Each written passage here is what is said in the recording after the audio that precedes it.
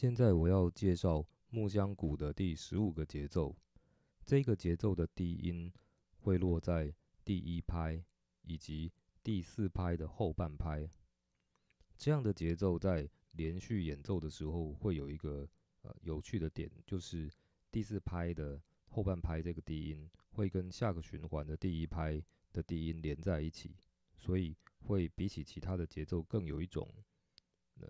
绵绵不绝，一种循环的延续的感觉。我来示范一次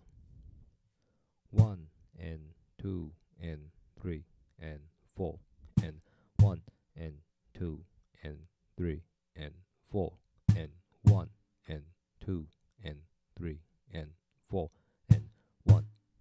two three four one two three four 现在我要在第二拍跟第四拍加入一个高音，one two three